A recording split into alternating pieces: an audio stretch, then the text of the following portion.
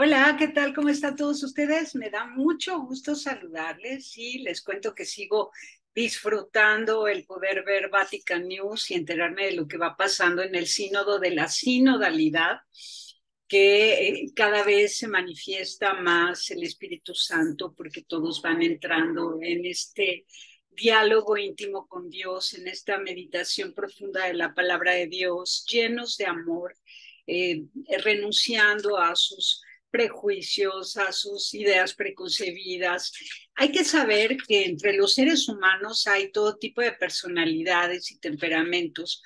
Por supuesto que entre los católicos, como entre personas de cualquier otra denominación cristiana, eh, y otras religiones en cualquier parte del mundo, incluso entre no creyentes, esto del temperamento y la personalidad se manifiesta siempre, siempre interviene, pero eh, la gracia no niega la naturaleza, sino que infunde este Dios su Santo Espíritu de amor y purifica y, y hace que nos superemos a nosotros mismos y logremos ese diálogo entre todos. Entonces, este milagro va ocurriendo en el sínodo de la sinodalidad gracias a la disposición de todos que si son personas tendientes a aferrarse a ideas fijas, que si son personas obsesivas, eh, eh, tremendamente temerosas o tímidas, o, sin querer han caído en una actitud pesimista, de criticismo absurdo, eh, personas que, que no quieren que las cosas cambien, que se aferran a estilos, formas, estéticas, ¿no? Que se, que se aferran a, usos y costumbres que creen que son inamovibles o que quisieran que fueran inamovibles, pero, pero que gracias a la gracia del Espíritu Santo se dan cuenta que hay otras formas de vivir la experiencia del encuentro con Cristo a partir de la misma palabra de Dios, que es lo que unifica todas las formas, que es lo que nos hace uno, ¿no? Uno, el Espíritu de Dios en Cristo, con la palabra de Dios, y pues eso es lo que no cambia. Entonces, ayer en Asamblea General eh, hablaron de, de, que se ha pasado del yo al nosotros mediante la metodología de conversación en el espíritu es el módulo 2, una comunión que se irradia. La prioridad es cómo ser signo e instrumento de la unidad con Dios y con el género humano. La unidad se contempla en la Trinidad de Dios que ama a cada ser humano. Es el primer modelo de unidad. La Trinidad, Padre, Hijo y Espíritu Santo. Es familia. Entonces los cristianos hemos de ser familia y, sentirnos hermanos de la familia humana, por supuesto, sin distinción. Jean-Claude Oleric contó una anécdota de unos africanos en Europa que encontraron comunidad no en una iglesia católica, sino en una iglesia metodista. Y eso lo confrontó.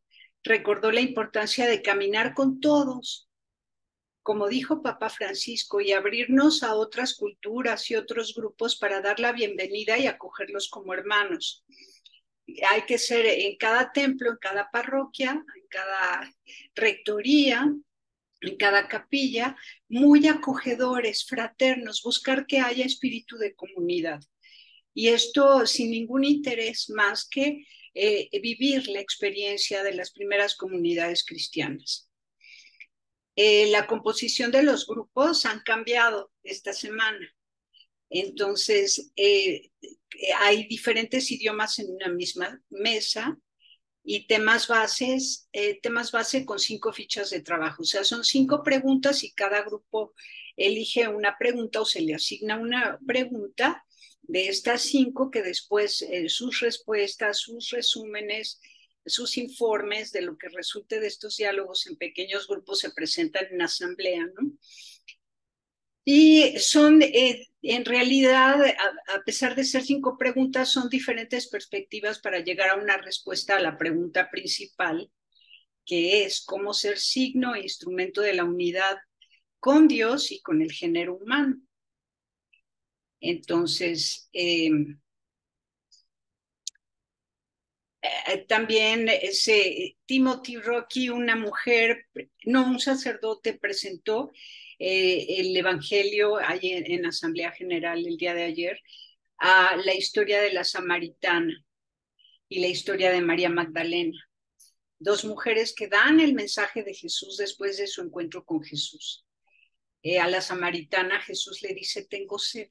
Jesús tenía sed de la libertad de la Samaritana, sed de la plenitud de la Samaritana en el amor verdadero, en el amor de Cristo. Cristo nos quiere mucho más de lo que nosotros podemos quererlo a Él, también lo dijo el Padre que predicó sobre este, este tema, esta historia de la Samaritana con Cristo. Entonces, Dios es para ella y en Cristo descubre la plenitud. Y advirtió que a veces la vida sexual errática es sed y hambre de plenitud, misma que solo se encuentra en la comunión con Dios, en el encuentro con Dios. Lo que nos impide la comunión son pequeños secretos o una vida con expectativas demasiado altas o de plano alejada de la realidad. Eh, Dios quiere darnos plenitud del amor y nada más práctico que enamorarse de Dios. El amor lo abarca todo. El amor de Jesús libera a la samaritana. Es un amor de encuentro. Jesús la encuentra así como es y le dice la verdad de ella misma. Ella se maravilla, lo recibe en su corazón. El amor es personal. El odio, en cambio, es abstracto.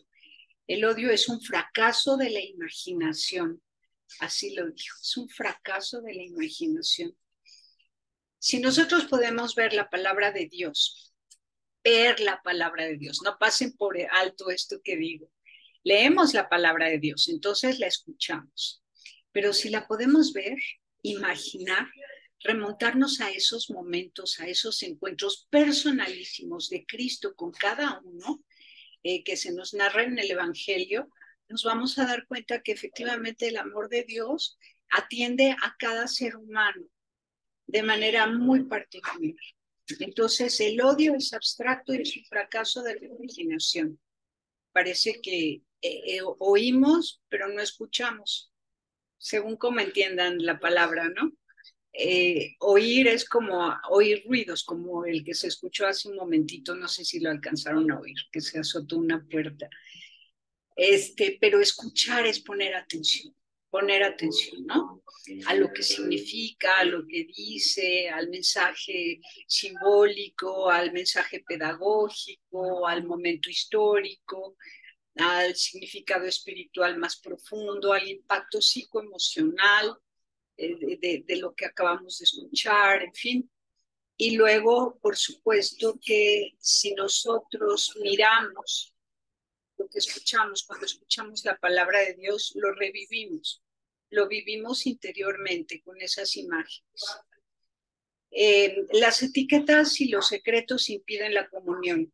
En cambio, el odio, el odio y además las etiquetas y los secretos impiden la comunión. El odio impide el encuentro personal. El principio de la comunión es el encuentro personal con Dios porque es un amor que libera y no controla. Así fue con la samaritana. El Señor la libera y ella sale a la luz y lo anuncia. El Señor nos libera de máscaras y disfraces. Bueno, y con, la, con María Magdalena, pues sucedió también que ella este, fue liberada por Cristo y luego fue la primera en anunciar la resurrección de Jesús. Entonces, pues si nosotros estamos atentos, al amor que Cristo nos tiene, a la relación que Él propicia en primer lugar. Él la propicia, Él nos busca, ¿no? Él siempre va por la oveja perdida. Entonces Él nos busca, si ponemos atención, nos dejamos amar y correspondemos con humildad a la escucha de su amor, a recibir su amor, lo recibimos, entonces por supuesto que lo anunciamos y, lo anunciamos con la alegría con la que nosotros fuimos rescatados. Esto significa muchísimo. Odiar, en cambio, etiquetar, descartar, es, es no haber escuchado el amor que Dios nos tiene y privar a otros del encuentro con Jesús. Luego, eh, también una profesora de Inglaterra habló de ser semejantes a Cristo. escuchar, ver y sentir la condición de este mundo para ser en Cristo capaces de ser signo de comunión en aras de la paz y la salvación del mundo entero. La comunión es el ser de Dios, nuevamente, Trinidad, lo más real que existe. Nuestra riqueza en comunión no es el dinero, sino los dones, carismas y gracias. Esa es la riqueza en común que tenemos. Los diferentes dones, carismas y gracias eh, que nosotros ponemos en común.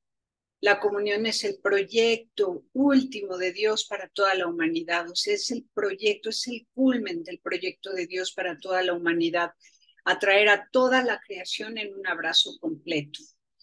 Y la comunión de los cristianos es nuestro ser y nuestro hacer, frente a una mundanidad competitiva con afán de poder y de posición, ¿no? en la iglesia nosotros somos iguales. En la diversidad de culturas y lenguas, Dios nos atrae a la comunión en la Trinidad, Padre, Hijo y Espíritu Santo. Nuestra belleza no es la belleza del mundo, la humildad para aceptar la vulnerabilidad y el dolor. Nuestra belleza no es la belleza del mundo, sino estriba en la humildad para aceptar la vulnerabilidad y el dolor. En la Eucaristía se manifiesta la comunión, que es donde se reciben la gracia y los dones. Los que no tienen poder, los pobres y los que sufren serán los primeros. Es como ver a Cristo sentado ya entre nosotros. El pasado, presente y futuro se unen en la comunión eucarística con todas las culturas y diversidad de realidades. Es que es emocionante saber que la iglesia está en todas partes del mundo que escuchamos la palabra de Dios en, en, cualquier templo católico y que es la misma palabra que se está escuchando y resonando en millones de corazones en todo el mundo.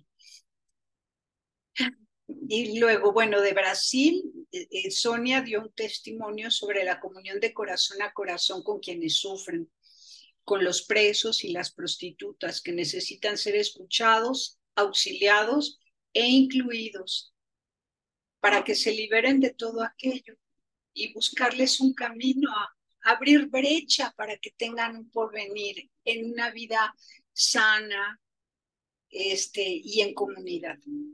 La práctica de la sinodalidad de la iglesia es este, eh, desde el concilio de Nicea. El sínodo es un encuentro deliberativo de obispos y un protos que hace parte del sínodo. Esto fue el testimonio de otro, de otro representante que participó en el sínodo. Y eh, los acuerdos siempre reflejan la vida divina. En algunos momentos se hace participar laicos. Esto en la Iglesia Católica Ortodoxa. Y de ahí surgen los consejos locales. Claro, es que hay que saber también que en todas las parroquias hay consejos parroquiales y luego hay consejos de, decanato, y luego hay consejos diocesanos, y luego hay consejos de arquidiocesanos, y luego hay consejos por tema, el consejo laical eh, de, de la comisión de la familia, o de la comisión pastoral, o de la comisión educativa, y así. En todos lados están participando los laicos, y lo mismo pasa en la Iglesia Católica Ortodoxa. El padre de Malasia, un sacerdote de Malasia, habló de la diversidad en Asia. El cristianismo es una pequeña, pequeña minoría. Y aparece pleonasmo, pequeña minoría, pero es que es pequeñísima. Solo el 3,31% de la población es católica, pero es parte valiosa para el desarrollo integral y el bien común en la salud, la educación y la ayuda a las necesidades de las periferias es trabajar para el bien de todos, como, como ser signo e instrumento de unión con Dios. Es como la levadura. Es poquita la levadura, pero hace crecer la masa de paz, reconciliación y armonía. Pero en esa Asia laica, tan solo el quitarnos los zapatos es un signo de respeto. Se hablan más de 2.300 lenguas y diversidad de credos hay una gran extensión de pobreza en Asia, dijo el sacerdote que dio testigo de esto. El principio subyacente para la escucha siempre es el respeto. El miedo a no ser aceptado, por ejemplo, por la autoridad limita el diálogo. Por eso hay que prestar más atención a los que callan. Qué buen testimonio, ¿verdad? Siempre estés donde estés, prestar atención. ¿Quién está sentado hasta atrás? ¿Quién está callado? ¿Quién no participa? Tiene miedo, se siente excluido. Hay que integrarlo. Em, la sinodalidad lleva esperanza. Bueno, estos eh, fueron algunos testimonios que se dieron en la Asamblea General el día de ayer. Y hoy en el resumen que se presentó a la prensa, habló eh, una, una religiosa encargada de los religiosos a nivel América Latina, habló un sacerdote de Estados Unidos y dieron el testimonio de, de, cómo vivieron estas jornadas, ¿no? Ayer y hoy en estos pequeños grupos. Entonces se habló de cómo caminar juntos cuando se en los pequeños grupos, cómo caminar juntos cuando se trabaja en una asistencia caritativa. Cómo lograr que los migrantes o las víctimas de trata sean protagonistas del mismo proceso de inclusión junto con quienes los acompañan para lograrlo. La iglesia eh, debe atraer a todos los excluidos, para que se sientan contentos, vivos, reconocidos en su dignidad como seres humanos y buscar junto con ellos una oportunidad de vida digna y trabajar por un mundo mejor. Eh, advirtieron que ah, en este mundo donde hay actitudes xenofóbicas, nacionalismos, excluyentes, donde se levantan muros, la iglesia es una opción de fraternidad de sinodalidad, donde nos reconocemos todos como hermanos, para que nadie se sienta rechazado ni excluido. Es una comunión de personas de diferentes nacionalidades. De hecho, en estos pequeños grupos se reunieron, hubo en una mesa donde estaban una mujer rusa y una mujer de Ucrania y participaron con el mismo cariño y la misma alegría de todos para dar respuesta a la pregunta de cómo crear comunión con Dios y con el género humano. Entonces se habla de todo en los pequeños grupos, todos tienen oportunidad de dialogar, se habla con libertad de las diferentes preocupaciones e inquietudes. Es como un mosaico de culturas que llegará a una sola voz con el Espíritu Santo en Cristo Jesús. Entonces, eh, eh, em, sobre el tema de las víctimas de trata, ¿Cómo lograr, por ejemplo, en esas situaciones que se reincorporen a su vida familiar, laboral y en condiciones dignas? Luego, y así vamos, pensando, ¿no? Lo que ellos están viviendo, pensemos nosotros cuando nos encontramos con la oportunidad y la posibilidad, eh, porque Dios da lo que pide. Dios te da con qué y cómo ayudar. A veces es solamente vinculando gente con gente para que se vayan resolviendo casos eh, de una vida compleja, una vida de exclusión o de autoexclusión, automarginación o de marginación de parte de otros. ¿Cómo lograr incluir? Qué bonito participar en eso, que nadie se sienta fuera eh, también se advirtió ante las preguntas de la prensa que de ninguna manera hay agendas ocultas, que el instrumento de laboris está a la vista de todos, que eh, eh, hay una preocupación que manifestó alguien de la prensa, uno o dos, sobre el tema de las liturgias, ¿no? Entonces, la respuesta es cómo hacer lenguajes éticas y estéticas de la iglesia para que lleguen a todos con el significado más profundo. ¿no? Porque los distintos modos en los que se puede vivir la misa deben ser asequibles, hacer asequibles el mensaje de Jesús, especialmente para con los pobres.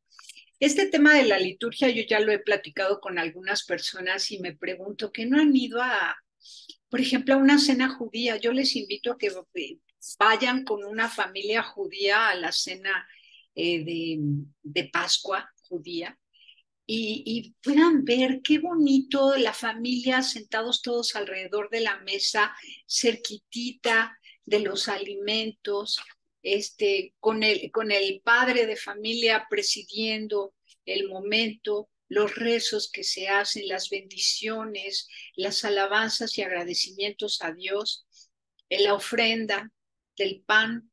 Y entonces podemos remontarnos a esa última cena de Jesús y vivirlo de manera cercanita, así súper cerquita del altar, cerquitita de la mesa familiar. Y entonces a partir de ahí como referencia, te das cuenta que, que, todas las misas a las que has ido, sea una parroquia de carmelitas, de diocesanos, de, de este, jesuitas, de agustinos, de agustinos recoletos, de la iglesia francesa, de las iglesias en África, donde bailan muchísimo y cantan.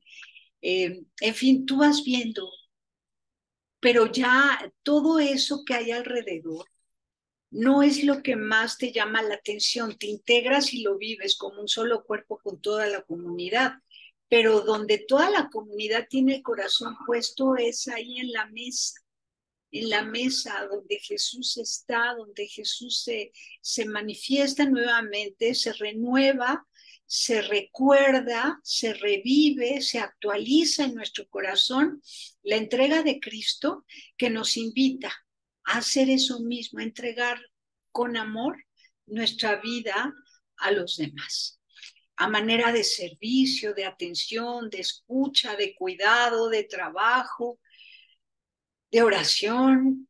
Entonces, bueno, si, si somos más espirituales, las formas no son lo más importante.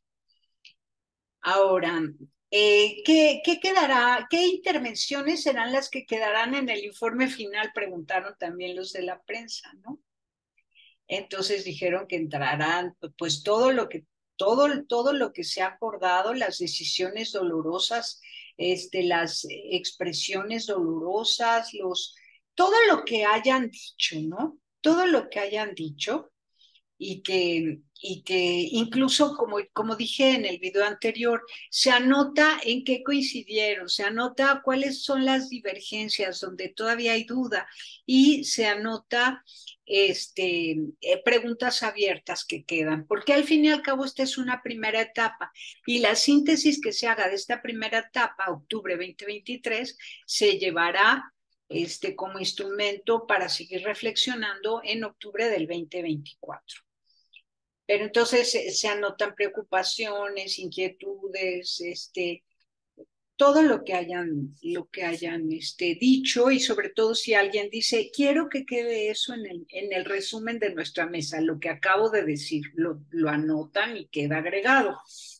Pero además algo muy importante que es que todos tienen derecho a escribir directamente al secretariado del sínodo de la sinodalidad para pedir de manera expresa que se agreguen los comentarios que ellos personalmente quieren aportar a las distintas preguntas, aunque no hayan tocado en su mes.